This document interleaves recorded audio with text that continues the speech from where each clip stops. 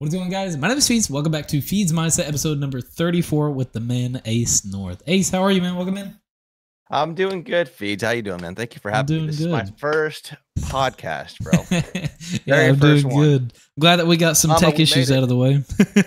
yeah, that was weird. I don't know. I don't know what was going on, and no one in my stream yesterday told me that that was happening. Really? See, I'm, I'm one just, person in Discord I'm a real something. one. You know, that's that's all yes, I'm sir. saying. so yes, yeah, sir. so um, so before we begin, uh, something I always do normally like to bring up. So me and you definitely know each other decently well. Um, but I wouldn't say that I wouldn't go as far as we don't really know each other that well. Um, I like establishing this because the podcast is about mental health and, and networking and getting yourself out there. And I just like always highlighting right at the gate that it's important that if me and Ace can sit down and have a conversation for an hour, like you can do it. Like you can reach out and make those connections. It's hard, but once you get past that factor of holding yourself back, it gets way easier. Um, so I just like I like bringing that up at the very beginning. But um, before we get into everything, um, for anybody watching that doesn't know you by any chance, um, just kind of get us through who is Ace North, what do you do, what do you play, and where do you stream and stuff. Awesome. Um, well, my name is Oscar. I'm from Anchorage, Alaska. I go by Ace. I've been streaming since 2016. Um, I was on Twitch from December 16th, 20 or sorry, December 16th, 2016 to about a week ago when I just kind of said, fuck it, we're gonna give kick a try. Mm-hmm. You know, mm-hmm. I've been streaming back and forth. Um, and the growth over on Kick in these last few weeks versus, you know, seven, eight years or whatever over on Twitch is night and day. It's crazy. Yeah. Um, so that's where you can find me. Um, I started streaming on an Xbox One with the old original Kinect camera that had that, that face track yeah. zoom in feature, you know. And so I would put it on my X or on my TV at the end of my bed, right? I'd sit in my my shorts, I'd have my snacks and everything. And I would play a lot of a battlefield. So I used to be uh, part of this thing called the Hardcore League, and you can think of it as like wagers almost, mm-hmm. but most of the time it was just a bunch of different like battlefield exclusive gamers and teams coming together and just playing you know with each other against or across battlefield 4 battlefield 1 you know um all that stuff. Mm-hmm. and so the funny thing is when i first started streaming like i never looked at chat right? I never saved my vods i would just hit live and i would just sit there for hours gaming and it wasn't until I started saving my VODs that I realized that the Kinect camera, the zoom in feature would sometimes zoom out and stop working and then zoom back in on my toes. And it would just be like a foot stream for like hours. but of course, I had Dang. like zero followers. So they, they was viewers. privileged back then. Yeah. And no one was watching my streams back Got to then. see the ace piggies. Yep. Yep. Uh, That's funny. But uh streaming, streaming, you know, it's been a part of my life for a good almost 10 years now. Yeah, and, and you're definitely in. you're definitely a very solid creator. I mean, you're you go on everything. I mean, you multi-stream on a bunch of different platforms. You're always posting your your TikToks and stuff. Obviously, you're a huge advocate for mental health. Um, and, it's always something it's always something really beautiful to see because that is something in in my opinion definitely one of the the lesser things ever talked about in this community is is the mental health and the struggles and the battles that everybody goes through you know off stream and off camera and non content related and you it's know, almost there's like just, taboo to like yeah, I mean, about. Like, there's just so much. There's a lot of negativity in this space. So you know, you know, just make this podcast, sit down and, and talk a little bit, and maybe shed some light. And, and maybe if you're going through something, maybe it helps you. Maybe if you need some tips or something, maybe this is for you, or maybe you just need to chill out. That's what it's for. Yeah. It's just spreading more positive light. so um, exactly, um, the world fucking needs that right now. Let me tell you. Yeah. So yeah, so I'm kind of glad that we kind of established that. So you've been on Twitch for most of your time, and you've just now recently started on Kick, and, and you're seeing kind of astronomical numbers that Little Ace would have been blown yeah. over back yep. way back when.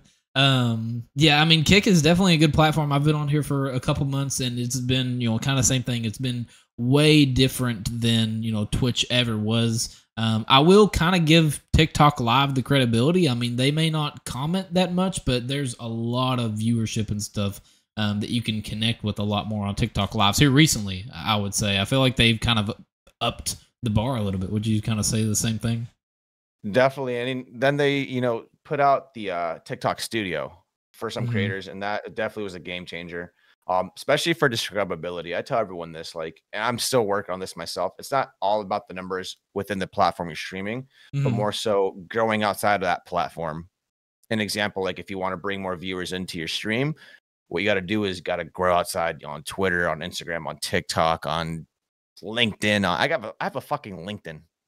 for my content. Literally a LinkedIn. Like it's I, you got to post your stuff everywhere. You know. Hey man, and there's there's that there's that one guy that's on the uh, the adult website. You know, the guy that does the montages there. Yeah, like, yeah. Gotta do Yep. what you can, man. Like every Tasty. everything can, yeah, everything can work out, man. Just you just set your mind to it and it'll work out. Um, but yeah, it's. Exactly. I, I think that's a very huge. There's a lot of things we'll get into. Um, I do want to save some of these conversations for later, so that way we can kind of focus on you in the beginning, uh, kind of understand. I know you've kind of already told us as of current day um, who you are and stuff. So let's go ahead and just kind of travel back a little bit in time. Tell me kind of how you got into gaming. You know, what did how did your kind of childhood kind of unfold into get into gaming and what this space is and and what this environment is. How did that lead you up to sitting here today? Okay. All right. So from the day I was born, my mom just put a controller in my hand. and was like, you know what? You got this. You got this, son. Um, no, I think the first game, video game I ever played would have been Tekken. Um, with my older brother, um, my stepbrother, but he's you know he's my brother Mhm. in my head, and so um, his dad was a big gamer growing up, you know, so he had some consoles and he would let us, you know, mob around on them. But I think my very my first console would have been the Pikachu edition of the Nintendo 64. wow. Yep. And so that's what kind of got me into gaming. Um, growing up, we didn't have very much money. You know, we're first generation. Well, yeah, I'm first generation in this country. Um, and so it was uh it was really nice to kind of have that escape. Like if I didn't have the game or didn't have the console, you know, friends of mine would. So I would spend lots of times just gaming, just gaming. I wasn't the kid that was outside too much, you know, Right. until I got a little bit older. Um, gaming and music. And the thing is, I didn't start to speak English till about fourth or fifth grade, right? Really? So yeah, it was uh video gaming was just my thing. You know, I didn't have very many friends at the time. You know, as a kid, I had a few close friends I still have to this day. Um, but there was very little communication between them and I. You know, I knew video games and I knew like the basics. Yeah. Um, so but I'm trying to get on this the right you're way first podcast. Wow, this is crazy. I never really thought about this. But yeah, gaming for me was kind of like an escape from, you know, the shit I had to deal with. You know, watch my mom work multiple jobs, watching my dad work multiple jobs. My grandma would take care of us full time, me and my little sister. Um, I didn't get to meet my older sister so till I was about like eight or nine years old. She lived outside of the country. Mhm. Um, and so my, while my parents were working all the time, you know, I was just with my grandma. And so as a kid, that didn't really dawn on me that, you know, hey, they're working all these jobs and you never get to see them because they're trying to take care of you, you know. So I was always bummed out my parents had to leave. But my one escape was, hey, I get to go, you know, no one's gonna tell me how late I can stay up. I'm playing video games, you know. Yeah, and like I don't I don't want to take too much away from from this. I don't want to kind of steer the conversation differently, but on that topic of, you know, the different battles as, you know, as kids that we go through, you know, cuz kind of same thing with me. Both my mom and dad were disabled, you know, they was all fixed income. Um, and that limited, you know, us as kids growing up and stuff. So is, you know, how important do you think that is to kind of reflect back on on that, you know, cuz a lot of people have been through a lot in their childhood and they use it as, as an escape but i feel like maybe if they would be like i don't really know like the word i feel like if they would recognize where they've came from i feel like it would be a lot yeah like it would be a lot easier for them to kind of to cope and move on i feel like a lot of people are still like held back thinking from those times where they came from Well, and you know that's where I was for a little bit. Like as I got older, I mean, and we'll dive into this. Like it was a lot of just really bad decisions, Mhm. and my selfish, you know, mindset back then was like, well, you know, the world fucking is against me. Like, who cares, Mhm. right? Like my parents weren't there. Who cares? I do what I want, right? And you know, now as an adult, I have a, a great relationship with my parents. I love them to death. You know, um, shout out mom, shout out dad. yeah shout out mom but uh I moved out when I was 16 because of like this just the shit I was into and the things I was doing, you know. And again, it just went back to like, well, I had such a bad childhood. Like, and it wasn't until around 2016 when I started streaming and when I got sober that I kind of started, you know, I became an adult in my head. You know, I kind of started Mhm. growing up, started reflecting on things, seeing things. So a lot of people they'll look at their childhood, you know, depending on you know what background you have and where you come. Some people are born with silver spoons, some aren't a lot of people take that and look at it in the negative light but i looked at it i started to look at it in the sense of like well when i have kids they're going to have a better life than i did you know Yeah. but for that to happen i have to start taking care of myself now i have to start being positive now you know i can't let my past define me that's one thing Yeah. people should you know you guys should if anyone watching this takes from this is do not let your past define you you know right? There's a story, um, and this is totally left field, but there's a story um that I saw, and it was basically the question was, how to go? If you plant bamboo, right, it takes about five, six years to grow out of the dirt. But then Mhm. after that, it grows exponentially every couple of days, right? So those first five years, you can kind of take it as like your childhood. Well, you know, you were in the dirt, you were, at, you know, you're at the worst you can be. You were, you know, life sucked, your childhood sucked, you know, but that was then, you know, you don't know what the future holds, you know, and I had to kind of, I had to really, really like dial in on that. Like, hey, I don't know what, you know, I'm going to, where I'm going to be in five, ten years. Yeah, definitely. What I do know is I can't fucking dwell on the past, and you should never dwell on the past. Um, yeah, don't Yeah. let your past define you. yeah, no, definitely. I mean, I agree. It's the same thing. Just like a little quote that I'd seen like a couple months back from the uh, from the owner of Kick, from from Eddie. You know, he had said, you know, some of the biggest, most successful, entertaining streamers hasn't even went live yet, and I feel like that kind of incorporates to the same thing, to where a lot of people are holding themselves back because of what they've went through, but at the same time, like it's it it stinks because everybody is opinionative and they are going to take it in their own light and they're going to have their own opinion on the matter. But the raw factor is you want to be successful, you want to do great things, and if you hold yourself back, you're just not going to accomplish it. Whatever your reasons may be for things that tie you down, it's obviously going to be always, you know, situation dependent, but overall, you know, you want to succeed, you want to make friends, you want to network and you want to get out there and only you are going to do it. You can't just wake up one day and it just be handed to you. You know, it, it unfortunately don't work like that. I wish it did. I wish I wish everybody could be happy and we could all live a fruitful life and laugh every day, but you know, life's just not like that, you know. and you know, to touch on that, like success is never linear. I say this almost every day, at least once a day to myself or mm-hmm. to someone on stream. Success is not linear. Happiness is not linear. You are only running this race against yourself and your mind. The only things that you are in control of in this lifetime, in your life alone, the only things you can control are three things, you know, your mind, how you react to things externally, and how you react to things internally. Right. You can't let the fear of you know your past or the fear of what others are going to think or like you mentioned earlier before we started this podcast like oh damn you know i spent fucking 100 hours on this video and it only got to Mhm. one view and that's my niece like Right. you can't you can't let those things get to you you know because happiness and success is different for everybody you know Yeah. some people would be fucking ecstatic with 10 million dollars you know some people would be ecstatic with 10 million followers like it really it really depends some people are obsessed with like really cool socks imagine owning all the you know that person's probably like man i want to have the world's biggest collection of socks you know it's it's different for everybody man Yeah, and I, I kind of had the same th- uh, same conversation whenever I was with Flamey, you know, about you know your content and, and how it's doing and stuff. And I feel like that's that is definitely the epitome of content creation. Is you look at a video, you put a lot of work into it, it didn't do well, and now all of a sudden you're just kind of done. And it's like it's it's not going to get any better sitting there just being upset about it that it didn't do well. And like even like Yeah. my situation like my cod clips and everything i love being known as feeds. That's what i am. I snipe i hit clips and i love that people view me that way. But there's way more to you than that. And on that off fact a lot of people look at me like oh he just hits clips and there's nothing else to him. And it's like no like i have my podcast i do my beatbox reactions on my youtube channel. Like i really try Yep. to you know go outside the box and do a few other things.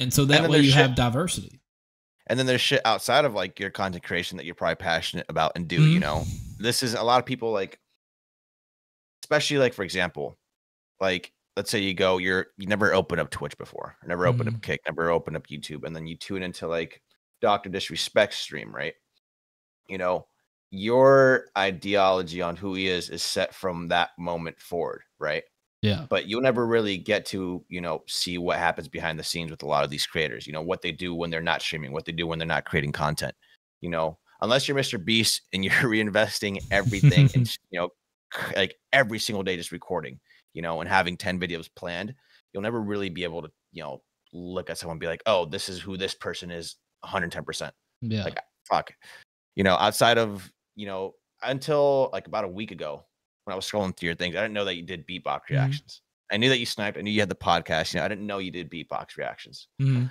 so that's fucking dope i like that. yeah yeah but i mean and that's kind of the biggest thing and you know it's that's the whole thing with content creation. Getting burnt out your video's not doing well not having fun at what you're doing.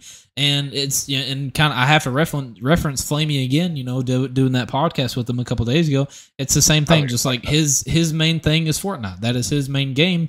And he brought up a really good point of there's like at least 40 or 50 different game modes of solid long-term content you can do and just because it's not something you have fun with or you may not know about, it may turn into something that you do for a while. And that was yeah. that was kind of my thought process. I've been in the game for a long time sniping. I've been here since, you know, Call of Duty Ghosts is how long I've been here. And it took me getting to MW3 to realize like, hey, like I'm kind of getting a little bit burnt out. Like I love still hitting the clips, but hypothetically it's not going to get me mentally where i want to be. Like yeah like even if i have tweets pop off and everybody loves my montages and stuff it doesn't get me where i want to be as a person. It gets me where i want to be as my persona that i'm creating which is this guy who hits cod clips.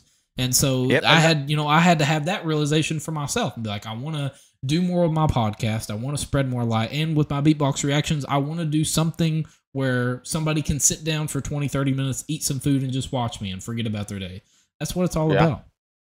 Oh, and to touch on that, like people, they at least I can't say everybody, mm. but in my eyes, like in this space, right, the you're gonna see growth if you want to see growth, right? But you could only grow so much as a creator and you don't start, you know, you don't ever pass that threshold. And so you start start growing as a person as well, right? Because mm. people I talk about this a lot when I stream. It's like if you've seen my streams, you've seen my content. I'm the mm-hmm. same across all boards. I'm, you know, when I'm off stream, on stream, off camera, on camera, I'm the same person. I don't put up like, uh, you know, I love Doctor Disrespect. Mm. No disrespect to the man, you know, the two time. We love the two time, but like he has his persona. You know, he has the glasses, he has the wig, he has the vest. Mm-hmm. You know, he has he. That's him, but that's not who he is in real life. You know, right. um, and so it's easy to navigate that you know those waters because he's not being fake 100% of his time you know? Right. If you want to grow as a creator you, you know you got to grow as a person too. You got to be able to you know because people are going to be watching if you let's say one of us blows up everyone but whatever the case is someone mm-hmm. blows up people are going to be able to go back you know five years and watch a video from you five years ago and a video current and they want to be able to see that growth. Yeah. you know it's just human psychology that development needs to be there um, and a lot of people they get complacent with just focusing so much on their content that they burn themselves out, that they you know l- lose interest. They kind of like scare themselves from trying something new, doing something different. You know. Yeah. Um, branching out is definitely important. I've seen streamers who, for years, you know, played one game and didn't get any growth. And then once they started doing a variety of things or started doing single player playthroughs, then their shit started blowing up. You know, it's really about just that development that a lot of creators I know get stuck with. You know, complacency is the number one killer of dreams, right? Right. Uh, yeah.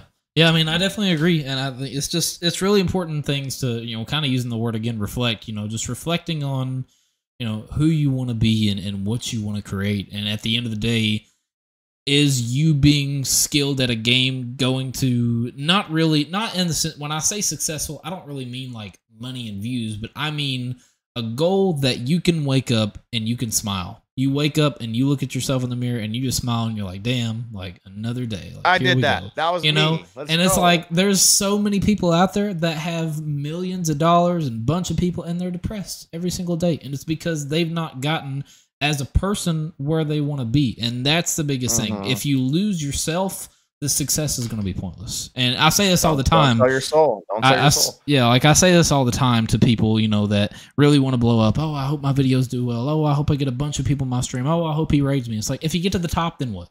You get to the top, you're happy, you What's got all next? the views, you got all the money, like and let's say you hit a million subscribers off of YouTube for faking your reactions or whatever you ain't got nobody to celebrate with. You've been fake your whole life. You know, like what's what's the yep. point of it? You know, like you or like ever, recycling content that's not yours, and you know things like that. It's exactly, like, and it's like you know, like everybody gets invested with, with the numbers and stuff, but when it comes down to is you know, if you cannot be happy with yourself and what you create, you're never going to be as successful as you want to be. Even if you hit where you want to be hit, you're still not going to feel that. And having that, that feeling is what matter, matters because that's what keeps that motivation for you to wake up the next day and do another video. Uh huh.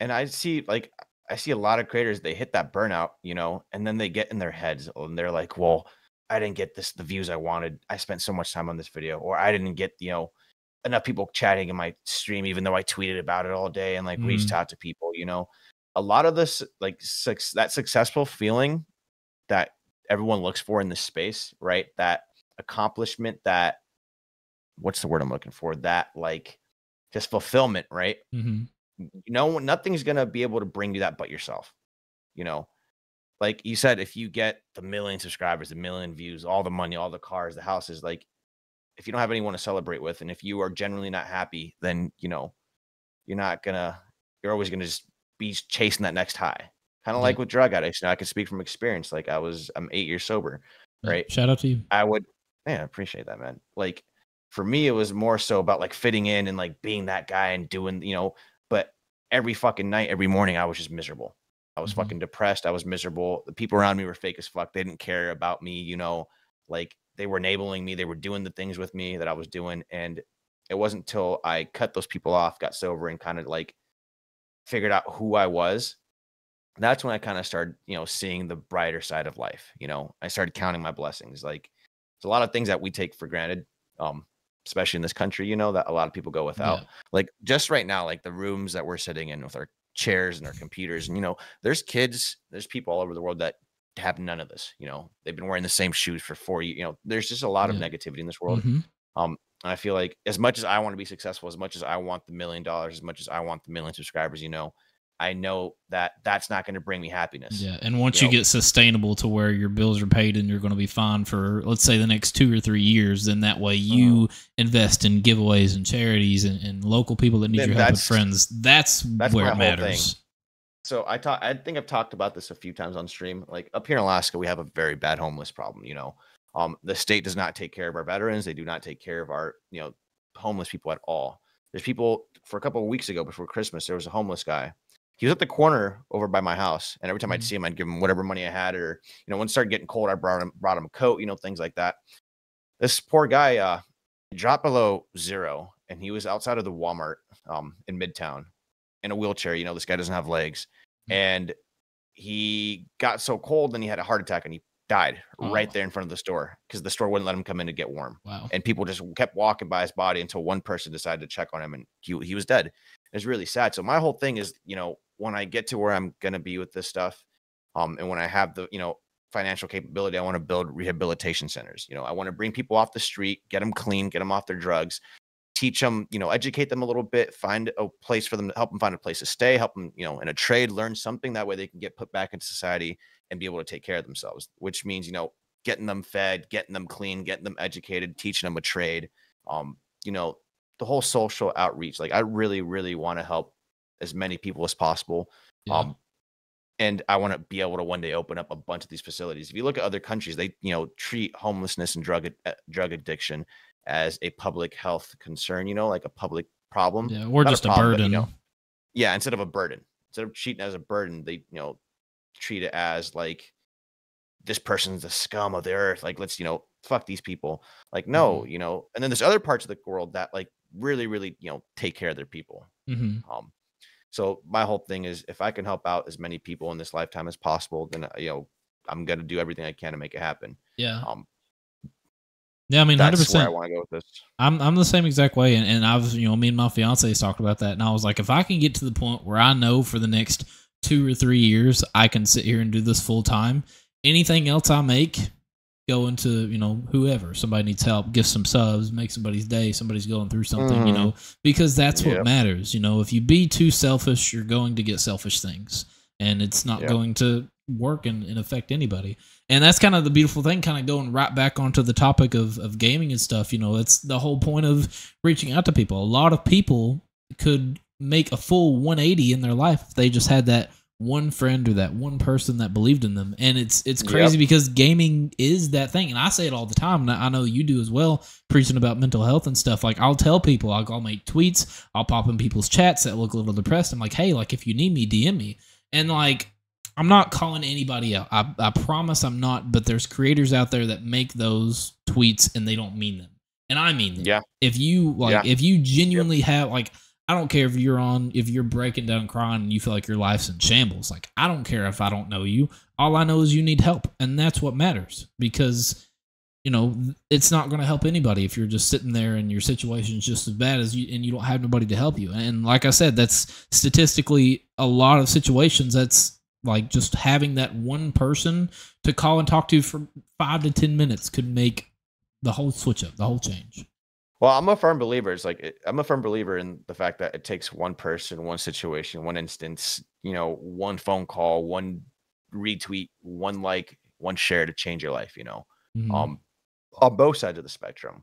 Um, and touching back on those tweets, like you just said, like a mm-hmm. lot of people tweet that stuff for impressions, you know, or they'll like come in your chat, hey, how you doing? Blah blah blah blah. Man, you're such a great creator. By the way, do you any graphic designers? You know, like, it's just, it's, um, like this the space is a really cool space because a lot of the support. I mean, I'm just speaking from personal experience. Yeah, a lot of the support that I get with my content outside of like my close friends are complete strangers that I've made genuine awesome relationships uh, relationships with you know through gaming right and so having that system there like hey if i'm having a bad day i know i can reach out to some of the norcal or norcal rising guys and go game with them and you know my mood's going to change right. if i'm in a situation where i'm uh, you know i need help i need someone to talk to there's people i know from this community from this space that i can genuinely rely on and call and talk you know my problems out through um, the camaraderie within the space is really really cool too. You know, yeah. having just you know the boys, the girls, you know, the team, the homies. You know, if one person's down, we're all going to come together and help that person out. You yeah. know, no doubt in my mind. Um, that's the biggest thing that like caught my eye with NorCal. Um, with Mitch specifically, he like he always emphasizes at the end of his streams, you know, if you need anything, want to talk to anybody, whatever the case is, reach out. You know, we have a support system, and that's the biggest thing. A lot of you know people, or not people, a lot of these orgs don't really have these kind of systems in place. You know, don't really care mm-hmm. about the creators as much as NorCal and this community cares about each other. Definitely.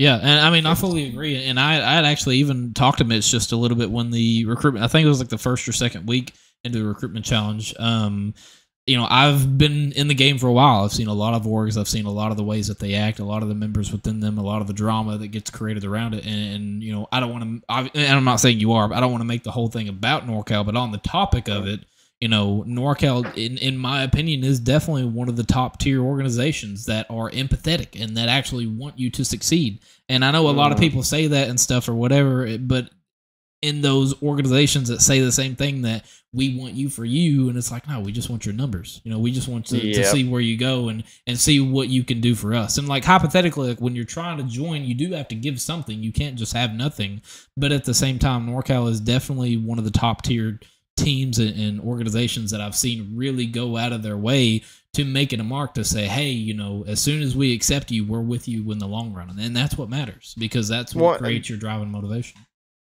not only do they want you to succeed, but they also give us the tools to succeed. I can mm-hmm. say this from firsthand experience. Before joining Rising to now, like I'm a better creator, I'm a better person. My mindset is completely changed, all because of the community. You know, the people that I've played with, the people that I've spoken to, getting to spend time at TwitchCon with these guys. Like, it's there. Like you said, they're empathetic. They want us to win. They want us to succeed. Mm-hmm. They're with us for the long run. Um, I just had this conversation a couple of days ago with uh Levi um, from Rising, and you know we were touching on people whenever they join an org, right? Mm-hmm. An org brings them in, their grind stops right there. You know, yeah. they made it. They don't. They don't push. They don't. They don't strive for more. You know. And then there's also people who are going for orgs for oh this you know if I join this org I'm gonna have all this clout man I'll, they'll be able to retweet my shit and like I'll be yeah. able to just like flex you know but NorCal is different NorCal like the community involvement is amazing um the love is there, the respect is there. Um, I've not seen any drama whatsoever come from mm-hmm. this org. You know, it's just their motto is building positivity, and they're fucking nail and hammer with it, bro. They're on top of it. Yeah. Yeah, I mean that's always a beautiful thing to see because you know it's it's kind of the same topic as as mental health. I mean, regardless whether you gain a stature or get to a point where you want to be where you can join these teams or have these sponsorships and stuff, you know, at the end of the day, we're all human. We all go through things. We all have things that happen in our lives, and that can be the make or break of whatever your situation is. Is just having those people surrounded you, and so you know, just like I said with NorCal and NorCal Rising, just having that empathetic community that's already there for you. You know, if something goes down, you automatically have people to turn to, and that's that's the most wholesome feeling you could have just knowing Yeah, that people are there, system. Even even when you don't need them, that they're there, and that's that's just it's priceless. Mm, Exactly, exactly. You know, and you know, I know we're talking about mental health, but just Mhm. like just veer off a little bit. Mhm. Where I see NorCal in the next five years, like everything they're doing, they're building a solid foundation, right? We Mhm. got this community, everyone, you got amazing creators, amazing grinders, and the diversity within these two, you know, within NorCal, within this, within. Ah, oh my gosh, See, that's the Span- that's the Spanish in me wanting to slip out right there. I'm like, no, um, the community involvement and just like this foundation that they're building is really really great because you know like you said the support system's there and you're only as strong as those you know you're around. You know Mhm. you're only as strong as your support system as your foundation.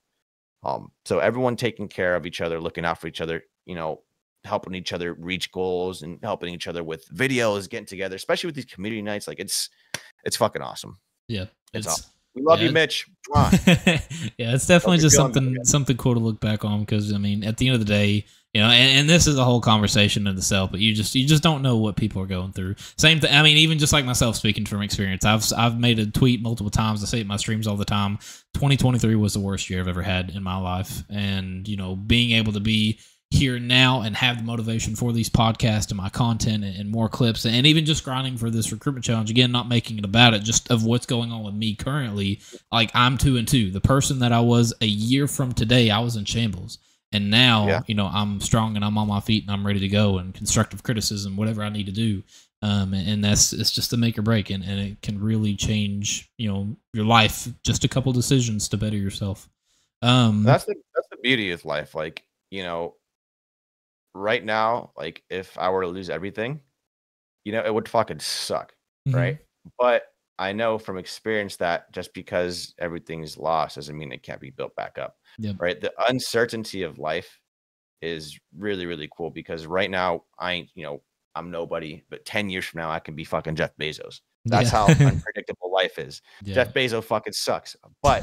just don't you know just- Yeah. just No, I, I definitely understand. So yeah, so I mean that was a cool little spill of conversation we went on, and, and shout out to, to everybody that's involved with any topics that we touched on. You know, everybody. You know, I say this all the time. Everybody deserves to be happy, and everybody deserves to have somebody to motivate them when they need them.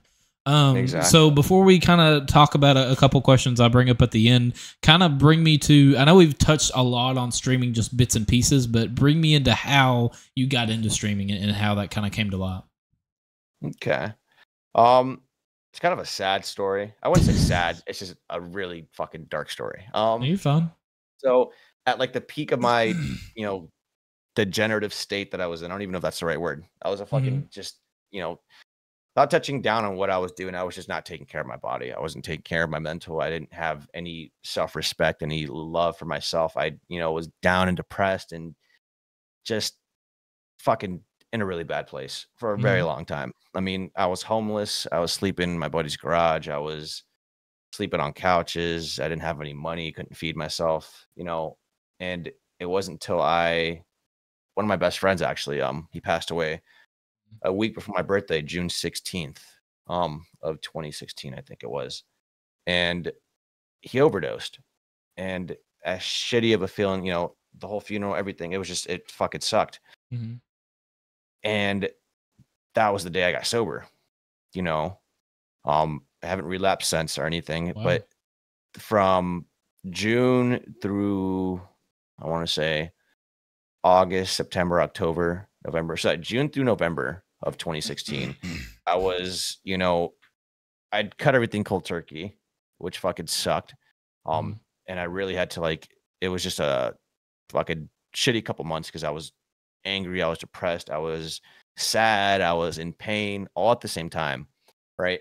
And I had to fucking really just like cut everyone off and change my number and go away for a little bit. You know, I, I completely disappeared.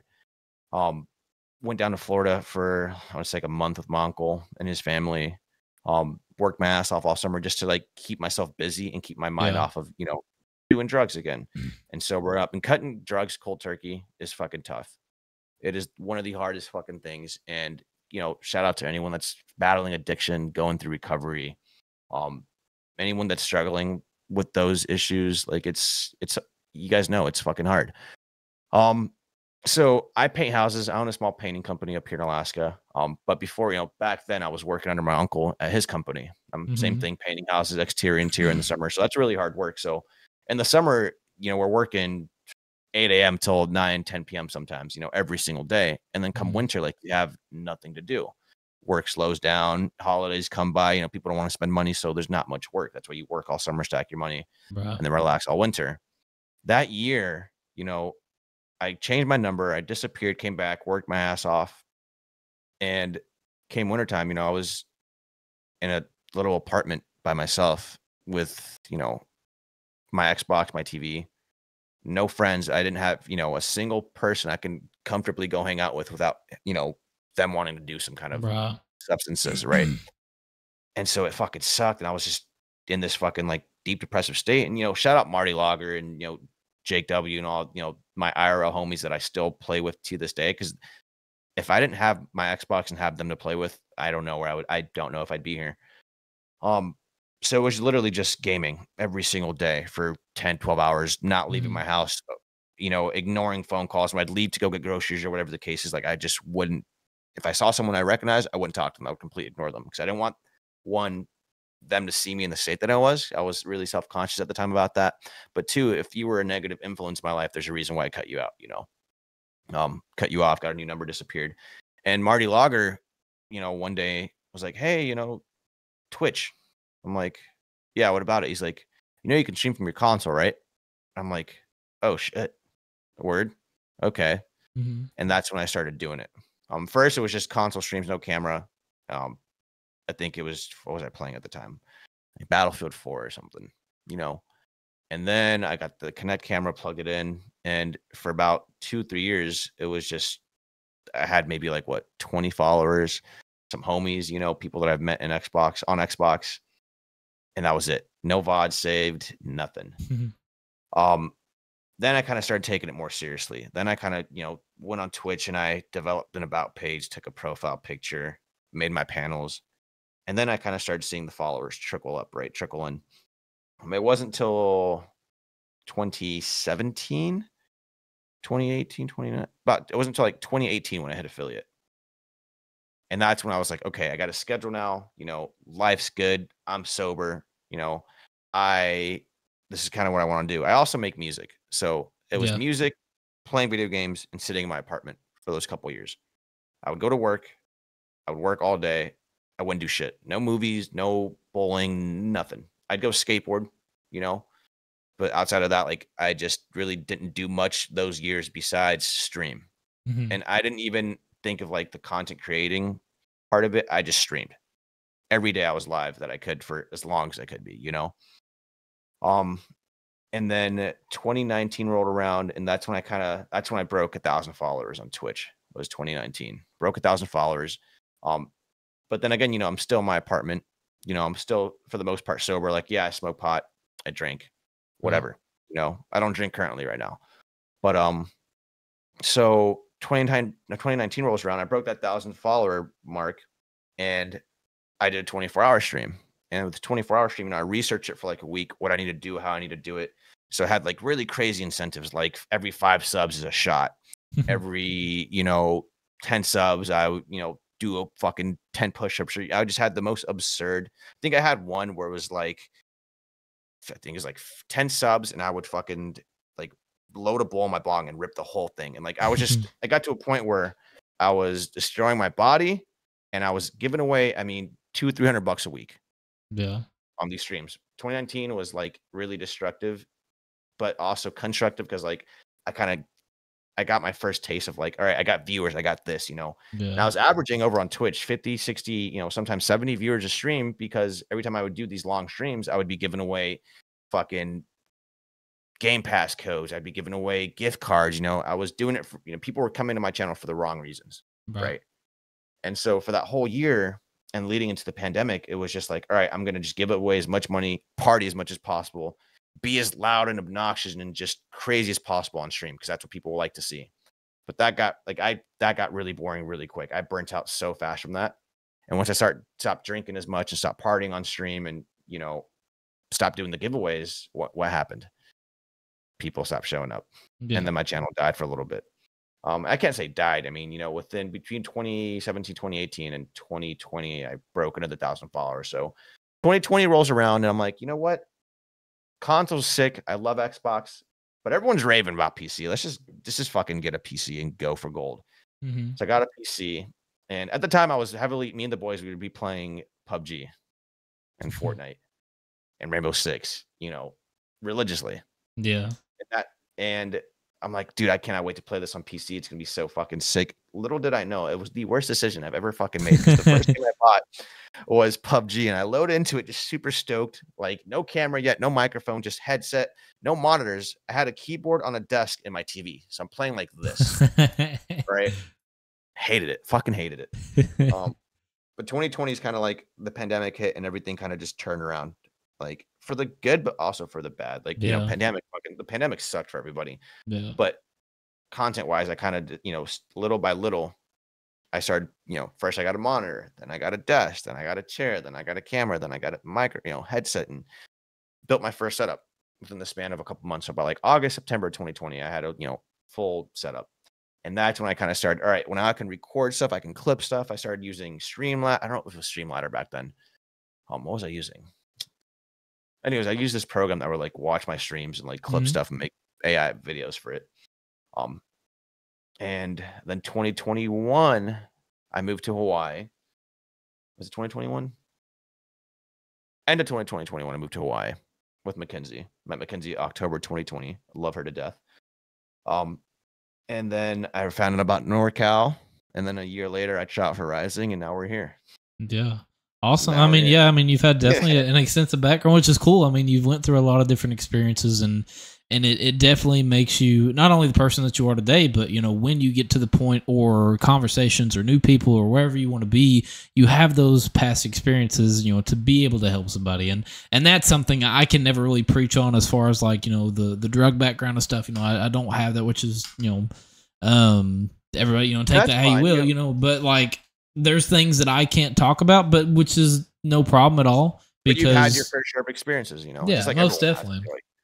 Like, yeah, and so like- like with you, you know, you're able to kind of give a, a more distinctive mindset for somebody that you know because everybody interprets and, and makes their own opinions based off of what the other person's been through. So if I were to give them some influence about a certain situation I've not dealt with, and then you have and you've been in it, obviously your word's going to mean a lot more than mine. And, and, you know that's just how the world is, and I think that's the importance of you know yeah like it- it's unfortunate and you know i hate that you know all that had kind of happened but it definitely made you the person that you are today. And for you to be you know sober you know shortly after your friend's passing you know like shout out to him you know rest in peace and you know i'm proud of you. I'm proud that you made that that mark made him the reasoning for you to move on and change other people's lives and be the difference and be the change and- and just show other people that you know if you can do it so can they. And that it's just it's a powerful thing that you can never describe. And being able to go through that and know that you've made it it just it means a lot more. And so you know again like i said I, i'm definitely proud of you. And and you know i'm not I trying to that, i'm not Thank trying you. to make you emotional but i know No, that i know i know that he is fucking proud of I you right now. Looking down. I'm I know- crying. he's No. proud of you he's looking Yeah. down on you. Like and then the biggest thing with that whole like recovery like sobriety like i really had to you know there's three things actually one thing specific.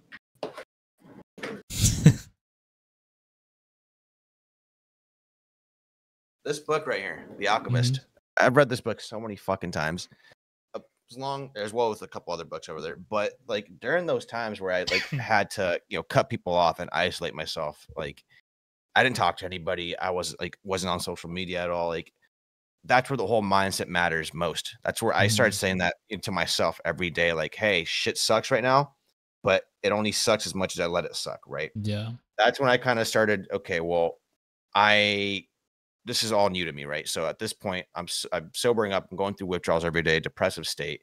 Mm. I have nobody around. And mind you, like my parents had no idea this was going on.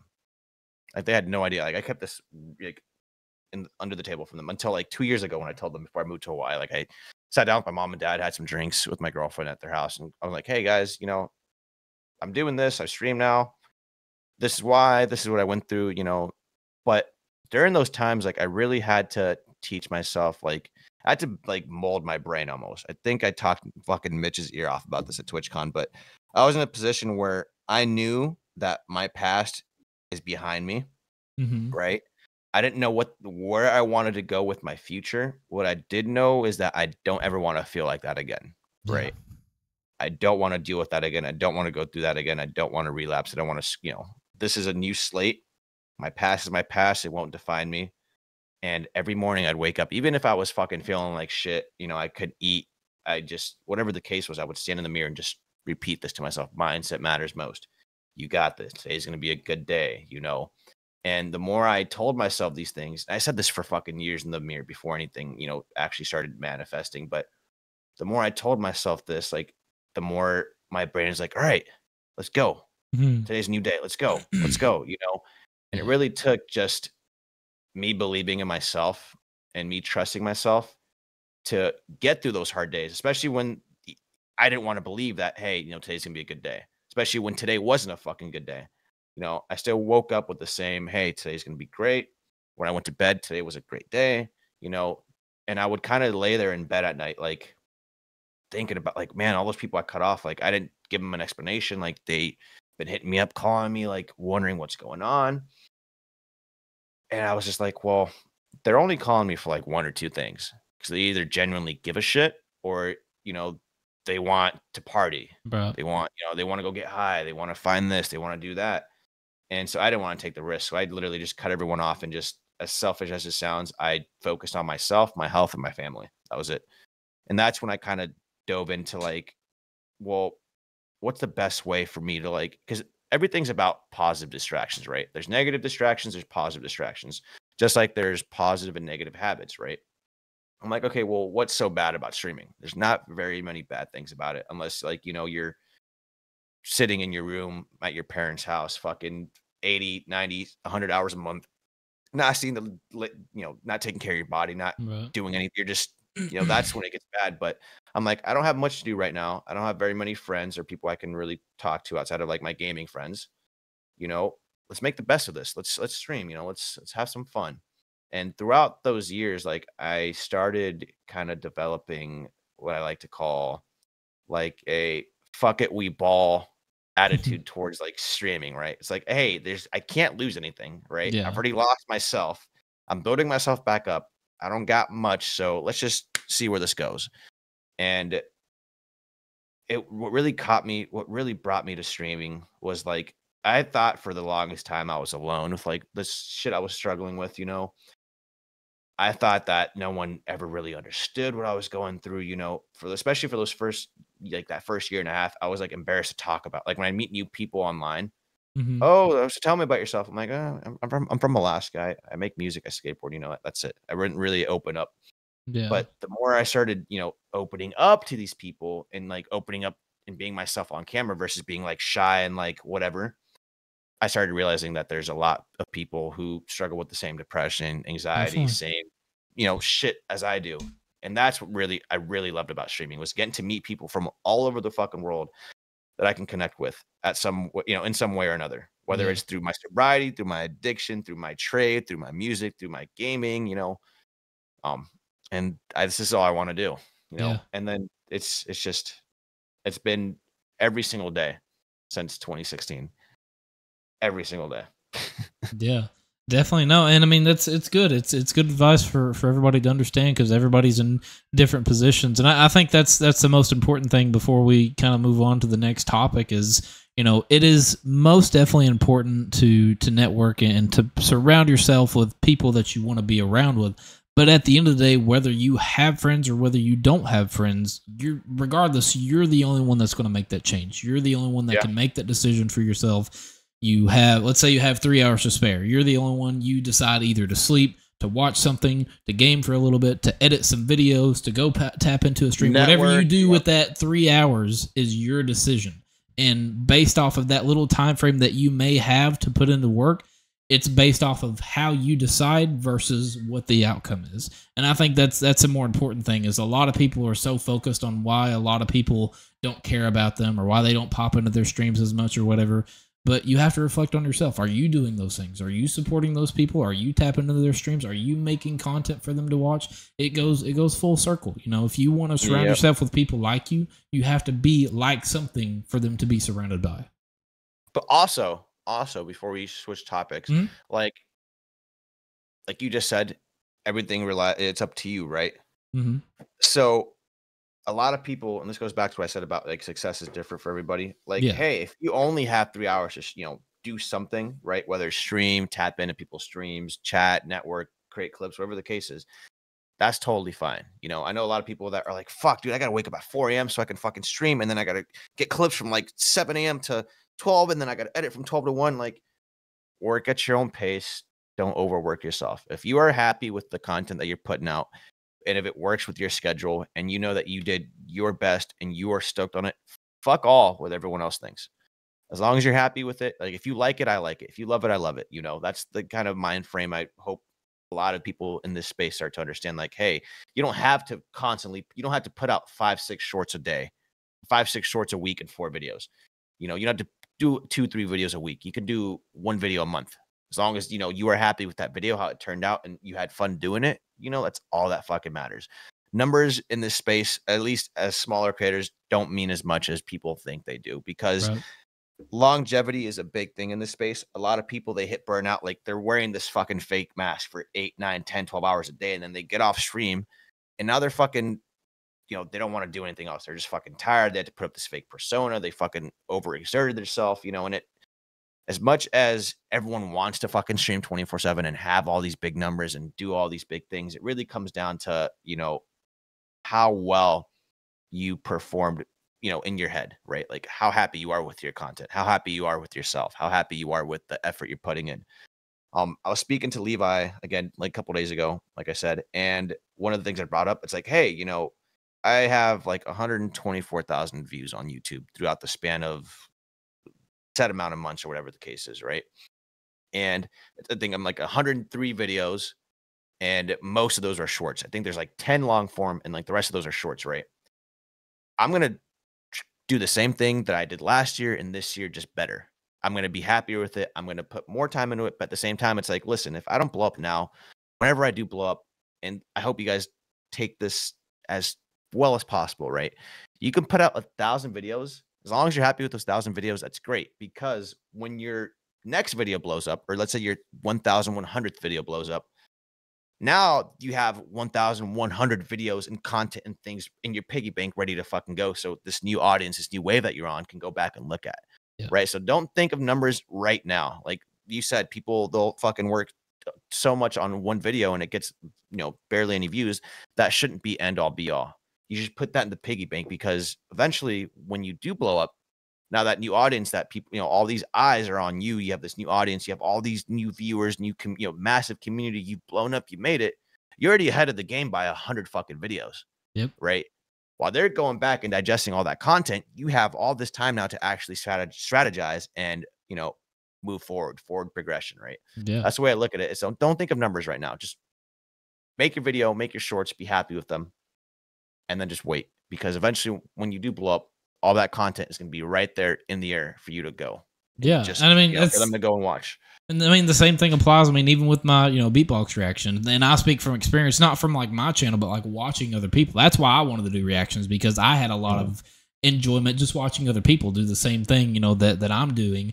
And that it's, you know, even just with reaction channels, it's very simple. You know, they do it and they post tons and tons of videos, nobody barely watches. And then you finally just randomly find that person one day. You watch it and you're like, oh, like this is really sick. I had a lot of fun and then you notice all the videos they posted before that and now uh, like it kind of gets you excited because you're like oh i want to watch this oh i want to watch this let me tab this up let me throw this up you know and it's like yep that's the things that matter. And it, it makes that creator's day because when they notice that you're the viewer is enjoying things that they did months and months ago it was all worth it. And that feeling that they had four months ago about being upset a little bit because it didn't do well they don't have that feeling no more because they know that you're there. Exactly. And that's the thing too, like when it comes to content creation, like the word creation in itself is, you know, it's indefinite, right? It's uh what's the best way to put it? It's like a ball of fucking yarn, right? You start off with the ball, but then you you can start up here, unravel it, and that ball of yarn is running through the entire house, the entire backyard, through the neighbor's house, the neighbor's house next door. Like it's everlasting meaning that the more content you put out, you know, the long even after we're all gone, like our content's still going to be here, hmm which is crazy, right? It's really crazy to think about. Um, and so you may not be getting views now, you may not be getting likes now, but once that one video pops up or that one moment goes viral or that one person who owns FaZe or whatever sees your video and decides to, you know, bring you on or whatever the case is, whatever your moment is, when that moment comes, you're already ahead of the game with all the content you've been putting out throughout the last Yep. couple years. Yep, I definitely agree. So yeah, so another thing that I always like to bring up with everybody that's on, I like to understand kind of you know where you got your name from. So where did Ace North come into play? So this is okay. All right. So like I said, I started streaming on Xbox, Mhm. right? And my original Xbox gamer tag to this day is like a some chicken. L I K E H S O M E C H I C K N. When I was eight years old, me and my best friend Jesse Choya and his little brother Hayden Choya were on YouTube. We came across um, ownage pranks Mhm. and they had this video where they would prank call a Chinese restaurant and then prank call another restaurant, another Chinese restaurant, Chinese food restaurant, and put them Mhm. on speaker with each other. Yeah. Yeah, and so there was like some chicken was said in there. It was like the funniest thing to me as at the time, right? funniest fucking thing.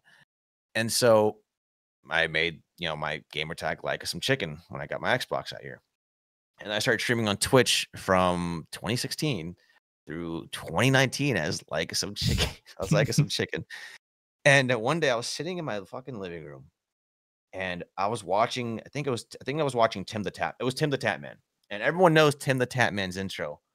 What up, Tatman Army? It's your boy Tim. We got another banger for you today. You know, make sure you tell someone you love them. Thumbs up, right? So I was thinking to myself, I'm like, when I blow up, how weird is it going to be for me to be like, "What's up, guys? It's your boy, like us some chicken," right? You know, that just Yeah. sounded fucking stupid. Like, it's it just I did I hated it, and I don't know why. I was like, that probably contributed to why it took so long for me to grow on Twitch was because of that fucking name. I'm like, well, how would what would I change my name to? I'm like, well, I'm from Alaska, so I'm up north. I'm like, who is my favorite movie character? Like one of my favorite, you know, actors of all time. I'm thinking, okay, Pacino. He's the fucking goat, right? Mhm. And then have you ever seen the movie Casino? uh, I can't say can't say I have.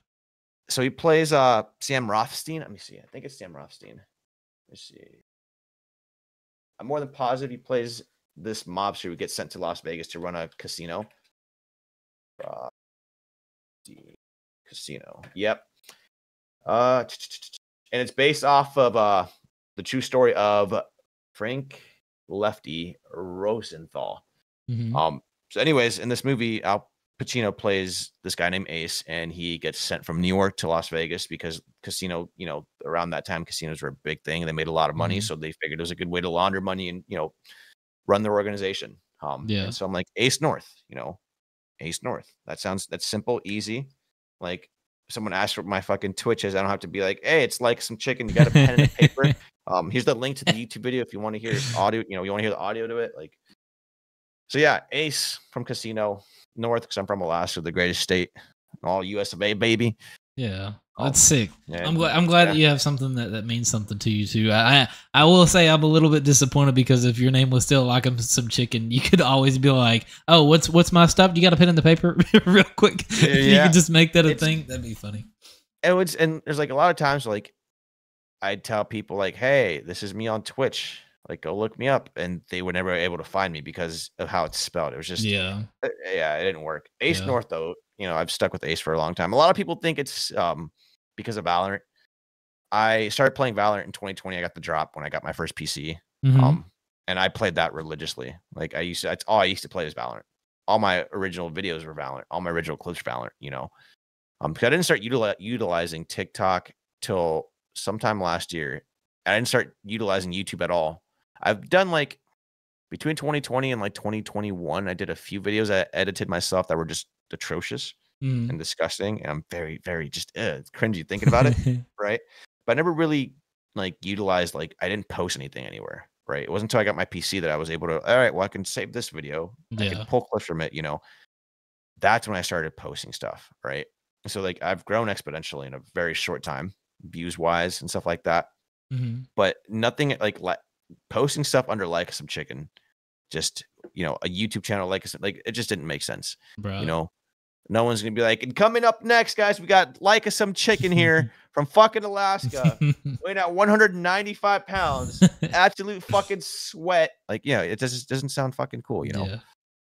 Yeah, I definitely understand, and I, I think that's you know there's a lot of people out there that that really haven't found their their right name and their right branding, and and at the end of the day, like, and I say this all the time, like to a lot of people it may not mean nothing, it may just be a little bit of a name or something, but not Mhm. only the professionalism behind it, but just having having a you know because because we're we're a character of our government Yeah. selves technically. However you want to Yep. look at that, that's how it is. Yeah. And so will you create something that you're going to be proud of? So when you get to that mile mark that you want to be, I personally always think that it's important that whatever your name is that you go by is something that should be meaningful. So that way you have something to be proud of, not just say. Yep. And, and I don't mean this in a bad way, but not to like get where you're going and be like, oh, like you know, Mm. like a, like it was some chicken, you know, I made it. You know, and it's like it just it means something. And at the end of the day, you know, just this whole preach about mental health and all that stuff, it ties right into that. Being proud of who you are is the best thing you can have about yourself. 110%. 110%. So, um, one more thing that I do want to bring up: we are about an hour. I usually I don't really put a limit on these at all, but you do Mhm. have your community night that is coming up. So I'd say we just do one more small topic and then end off here. Um, Yeah, I wanted, it. wanted to talk about a. So I usually ask everybody if they have anything that they want to talk about. Um, and you had brought up about the female gaming space, um, something that Yeah. does not get recognized a lot. If you guys do not know, if you've not seen other podcasts of mine, I've featured tons of wonderful women creators, and you can go and hear about their stories and check them out. It's amazing, and they definitely don't get the the highlights that they deserve. Uh, but you wanted to talk about that a little bit and normalize it for some people, just kind of raise awareness because that's the most important thing we can do. Yeah, so I have four sisters and one brother. Like females are a big part of my life. Uh, as given, it makes sense. hmm Um, but within the space, like I was playing with another creator last night, I think, and just like, and I've heard this before, but like I've actually like, playing with this creator last night, like hearing that the moment that she opened her mouth, like how toxic fucking it Mhm. got, it, it really sucks because there's a lot of great creators, you know, and a lot of them, a lot. Let me rephrase this. There's a lot of great creators, and there's even better gamers. And I hate to say this, but a lot of them are. Fe- I don't hate to say this. A lot of them are females, and I hate to say that. Fucking men hate that for some reason. Yeah, right. You know, it's fucking stupid. Like we're all fucking human, right? Like you don't frown on, you know, some badass, you know, UFC fighter, for example, Ronda Rousey, because she's a woman, right? But you're gonna hate on someone, even though she's a better fighter than you, you're gonna praise her, but you're gonna hate on someone who's a better gamer than you yeah. because she's a female. Come on, man. Like there's it's just it's super fucking toxic and it's it's dumb. I hate it. And I feel bad whenever like I hear these females getting trash talked or seeing like tweets like, hey, I'm gonna suck and stop streaming for a little bit. It's taking a toll on my mental health. Like it should Yeah. that shouldn't be this world we live in, right? Like guys, men, listen here. All right. Women make the fucking world go round, okay? Think about it. None of us would be here. None of us men would be here if we were not birthed by a woman. Like, you know, your mothers raised you, right? Like, I'm not trying to be that simp. I got a beautiful fucking girlfriend. She's smart as fuck. You know, marine biologist. She's turned my life around 100 fucking 80, right?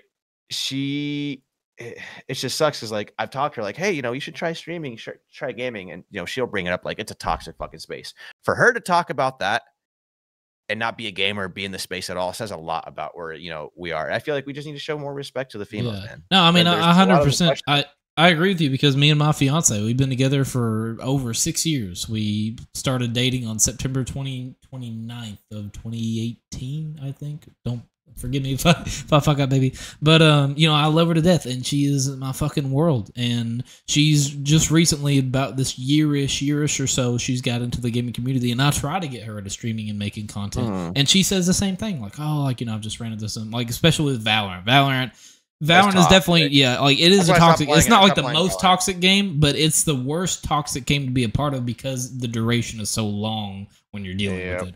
And um, she loved Val. She to loved it so much. She was a killjoy man. Oh, There's yeah. a lot of creeps out there too. yeah, Like, hundred percent, and it's sad. like, it's really sad to see. Yeah, I feel like I mean, women specifically, they have it harder, you know, Hundred percent. because of everything that they have to go through mentally, that their bodies have to go through physically, you know. But what sucks is the fact that, you know, you have the space where there's wholesome, genuine creators, you know, that are trying to make a positive change, try to be positive, trying to spread love, you know.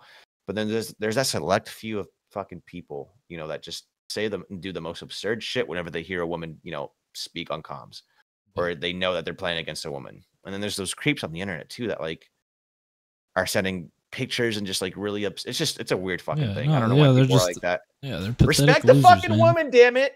I All agree. man. Fuck, yeah, I dude. definitely agree, man. They they deserve they deserve so much more than they get, man. They're regular people, bro. And, and the the other thing too, like going back on that, what I said really earlier about um, Eddie from Kick saying, you know, some of the best creators haven't even went live yet and stuff. That entitles so much to women. There is so many Yeah. women that could be much larger and much more skillful and better if you know if they just didn't have those things to deal with. And it sucks. And you know that is kind of the importance of being able to surround yourself with good people and stuff. But at the end of the day, as a whole, that shouldn't be the um, what's, what's the word I'm looking for that shouldn't be the excuse is oh i don't have good friends so that's why i won't make it it's like no like we as a Mhm. whole need to become better to where they don't have to feel comfortable around certain people to then be successful that shouldn't be a thing they should just be able to be successful and be comfortable and play just like us there should be no difference Exactly. Like, I mean, fucking the whole equal rights movement, like, it's a big thing in this country's history, right? Mhm. Um, not just for people of color, but also for women, right? And it just sucks that we're it feels like we're digressing back into this space where like and not to veer off the topic of women too, but No, like there's a lot of like I hear some comms on I've been called so many racial things within this space, which is crazy, you know. Mhm. And so a woman get that tenfold. Like I feel like shit when someone calls me the N word. You know, I get mad. I talk my shit back. You know, right? Because there's these internet tough guys, these little fucking kids, little men, right? That just have so much to say when they're playing video games, right? So imagine being a woman, right, and dealing with both of those things. yeah That's No, hard. I, That's I hard. definitely, I definitely agree, and, and my heart goes out to them and stuff, you know. And like I said, I've had plenty on my podcast. Actually, literally just yesterday, um, there's a, a gamer girl that I was talking to. Her name's Dimple, and she had made a tweet saying that she wishes that she had more women to play with. And I had tagged about probably 12, 13 saw that, yep. women creators. Yep. And a lot of Yep. them has been on this podcast, but I was like, hey, I was like, you know, blah blah blah. I was like, if you guys want to play together, you can. And they ended up making their own group chat. Now they're going to start a little game night, and they're going to have a little bit of fun and stuff. And that's like, what it's about, man. That's- what it's all that. about, you know. And Yeah. and like I had a couple and be like, "Oh, thank you so much, feeds. Like you're a go. I appreciate you." And it's like I don't like I don't want the credibility for that. Like I just added you guys because I'm thankful enough to have the experience to know all of you to know that you're great creators and like-minded people. And at the Yeah. end of the day, I, I think that's that's definitely the biggest issue I have with the space is a lot of people will only give their advice and their experience if it is worth it for their time and if they get Yeah. the credible experience from it and they get that fulfillment after being like i did that it's like i don't give a shit if i did that or not like Dude, clout you need to prosper stupid. you know Yeah, like the whole and that's the last thing. I don't know if we touched on this already. The gatekeeping hmm in this space. You know, thankfully we are within a community where that's not a thing. You know, NorCal, NorCal Rising, we're all one. We're all you know a unit. We work Yeah. together. We grind together. We support each other. But there's a lot of uh, especially in the streaming space. I've noticed, and like I said, I've been doing this a long time. Um, I've learned that there's a lot of gatekeeping. Mm-hmm. Like if you don't n- know the right people or you don't hit the right clips or they don't like the way you fucking, you know, go about your business when you stream, like you're not getting in and that's not what it should be about, you know. And that's what I noticed over on Twitch. Over on Kick, night and fucking day, bro. I had a yo, shout out to goddamn it, GD. Um she randomly came into my channel two nights ago. Never seen her before, never heard of her, you know, nothing like that Mhm. and she rated me with like 60 70 people right Mhm. and then she invited me to play with her yesterday in her community and it was a lot of fun you know yeah and those that's you know pick kick that's just that's all i'm gonna say Yeah. pick fucking kick the direction that twitch is going in right now it fucking sucks the gatekeeping on there fucking sucks the revenue split fucking sucks you know the ads fucking sucks the toxicity like it's just i don't i i hope someone from twitch sees this and they you know fucking yell at me or whatever I really do. I got a lot. To, I got a lot to say. I fucking put four thousand, almost five thousand hours into Twitch. yeah right. Yeah i definitely understand man as everybody goes through their own different battles and struggles but at the end of the day it's it's what your decisions are and even something simple of the the kick twitch battle like you can have your own opinion on it but Mhm. it's whatever you decide that you want to do that's going to make that change. So if you're upset with Twitch and you're constantly complaining about Twitch, if you continue to stay on there and ride that wagon, you're going to get the same results. Not saying that you should Yep. move away, but if that is your like complaint that they're never going to change, they're a waste of time. You're Try something new. Yeah, like you're the one that's still clicking start stream on that platform, and it's like it's not going to change until you change it. Uh, I think Yeah. that's that's kind of the more um, bigger picture of it. Uh, but at the end of the day, like I said a million times, everybody deserves to be happy. Everybody deserves to laugh. We should all be able to play with each other.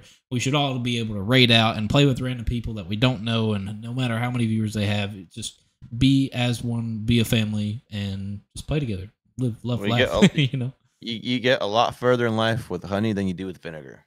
You know, that's what uh, that's, that's what my mom taught me as a kid. I'm sure Yeah. uh, there's just different sayings for the same thing, but at the end of the day, like if you do good, you know, do good, be great, right?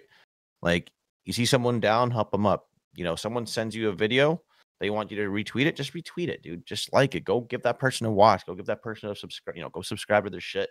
Like it does not take that much. It doesn't take anything yeah, to support people. Like, yeah, you can go give subs and spend your money if you want, but at the end of the day, what's going to mean more? Five gifted subs and then you never coming back to the channel again, or you actively, you know, posting and hanging and engaging, right? yeah, Like, what would you pick? Would you pick someone that shows up to your channel one day, leaves you a follow with, and then leaves five subs and you never saw them again, Mhm. or that same person comes in, follows, subscribes, you know, you start playing with them, you invite them into your community, they invite you into their community, you know, you have game nights, like you build relationships, or you know, there's financial growth and there's what's the word I'm looking for? Personal, you know, uh interpersonal relationships that you can build within this space. Yeah. Me, I would rather have fucking ten thousand people, you know, that I know that hey, if I get a game that's big enough, all ten thousand people are gonna be stoked to want to play yeah, right? Or even let's say if I can get fucking let's say a community where everyone knows each other, everyone plays together, everyone's in each other's streams, everyone's you know learning from each other and growing from each other. I would rather have that than fucking a million random people following me. Yeah. You know, like spreading love is the biggest fucking thing. I think this world needs a lot more positivity in it, especially you know the last few years, the direction that you know just the world is gone. Love, there's endless amounts of room for love, right? But it's just it's up to like you and I individually, like, hey, we can be a part of the problem or we can do our best to try to, you know, spread it. Yeah. Right. I don't know what I this is my first podcast. I don't know No, you're good. No, yeah. word. I don't know how to No, word that, but Yeah, you're good, you're good. Yeah, and uh, that kind of ties into to one of the last two questions I have. So, you know, before we end off this podcast, we've obviously talked a lot about a lot of things. I'm even messing up my words here, and I'm the host. We've talked about a lot of things, and uh, you know, anybody watching, I hope that any of this has applied to you, or maybe changed your mindset, or maybe just helped you, or maybe you just liked listening. Um, so, for everybody else that's watching here to end it off, do you have any last words that you'd want to say to anybody? Last words. Mm-hmm. It's better to have tried and given it your all and gone for gold and not made it than to live with the thought that you never even tried. You know, it's always too early to quit, but it's never too late to start, guys. Whatever that is, whether it's gaming, streaming, creating content, gym, work, personal life, yourself, your health, your mental, you know, it's s- do your best, man, and be happy with that. Yeah. You know, don't worry about the cloud. Don't worry about the numbers. Don't worry about who, what people think about you. That's one thing that I really had a long, hard, you know, like I said, back with my sobriety. Mhm. One thing I had a really hard time like processing was like, wh- who cares what people think of me? Right. At the end of the day, like, just because this person didn't retweet my shit or fucking like my post or follow me back, does that fucking make me any less of a creator? Or just you know, in my head, like, why does that matter? Right. Just love yourselves, go for gold. It's better to try and to fail and try again than to just never fucking start. You know, whatever that is, whatever you're fucking chasing, just do your best to fucking go at it. Give it all you can without, you know, ruining yourself in the process, without stressing yourself, without harming yourself, without, you know, overworking yourself because burnout fucking sucks. We're all going to hit burnout, but it's like you said, it's up to you ultimately how you decide to navigate these waters, right? Yep. Mindset matters most, guys. That's all I got to say. I definitely agree. So yeah, I appreciate you, um, you know, being on here and everything. I know that you're getting ready to go and do a community night. Last question I usually ask everybody: Do you have anything Yeah. coming up that you're excited to share with everybody, or anything? Any upcoming content or anything? I know you got your community night that we Hmm. just said. Um, everything's exciting. Like every time I go live, I feel like I, I don't know what it is. And I, you know, talked to Mitch a couple days ago about this. Like I need to stream less. You know, I love just being able to get online and just talk to you guys. You know, whether you're having a bad day or a good day, if I can bring some kind of excitement or you know, enhance your day, I'm gonna do my best to do that. You know, my streams are all focused about having fun. Like, yeah, I like to hit sick clips and like get crazy views, and you know, just like we all do. You know, but at the end of the day, mm-hmm. like I want people to come to my channel and have it be a safe space. If they're having a fucking shit day at work or you know something's happening at home, they can come in, share some laughs, you know, or laugh at me. Um, so not necessarily anything I'm excited for. Um, outside of this, you know, RC because I've been with Rising since March. yeah. Um, The, I think, I think that's that that's that's the whole thing I'm excited for is just yeah, being no, and that's that's live not, every day. that's that's you probably know? the most that's probably the most unique thing you can be excited for, man. Being able to just wake up and just be thankful that you get to look at somebody's post or something. I mean, it's just Yeah, that that that is definitely the the two and two of which creator you know will prosper. You want other people to succeed, so you'll succeed. It's just how it goes. yep, exactly. So yeah. Exactly. Um. So obviously, Ace, I really appreciate you being on here, man. Um. I know this is your first podcast, so I appreciate you giving me you know, the, the, the respect and everything of, of being able to have your first time. Um. You've been a fucking blessing, man. Everything that you've went through and, and everything that we've talked about, man. I just want to tell you that I'm proud of you and I love you and, and I I appreciate, appreciate you that, man. Thank you. today. I love you too, dude. Hell yeah. You know, it's uh this is right here, this podcast in itself is like I what we met three months ago, Mm-hmm. Something like that, four months ago. I, Yeah. When did we we wa- Anyways, like just this is what this space is about. People, like-minded individuals coming together for a common goal, having fun doing it, and you know, spreading positivity along the way. You know, if we can make one person's if one person can watch this podcast and learn something from it, or you know, just become a better person because of it, or think things differently, you know, in the positive light, and we've done our fucking job as creators. In my head, we're successful. Whoever's Yeah. watching this, whatever the fuck you're going through, remember that it's not a bad day. It's just a, or sorry, it's not a bad life. It's just a bad day. It's just a bad moment, you know. That's it. That's, that's, that's the outro. Alrighty. Well, guys, this has been Feeds Mindset episode 34 with Ace North. Please go check his Twitter hashtag right below his head. Uh, go in the description, check out all his links. Go check him out. He's actually currently live right now, but one that's posted, probably not at that time. Uh, probably be posted tomorrow. For for me and you, it'll probably be tomorrow. Um, but for them, they'll they'll see it on Saturday. But uh, but yeah, hope Yeah. you guys enjoy it. This has been Feeds Mindset. My name is Feeds, and we're out, guys. Peace.